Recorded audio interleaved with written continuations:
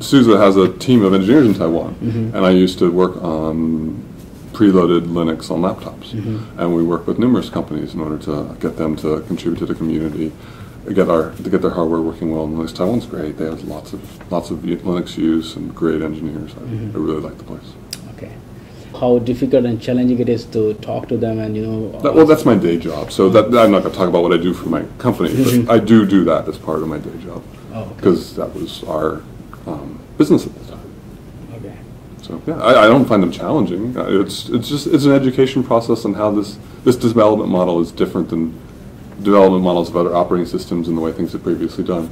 Once people realize what the development model is, there is usually very low. There's not any problems, or if there are, we work to solve them. Okay. So no, yeah, the Taiwanese companies are doing great.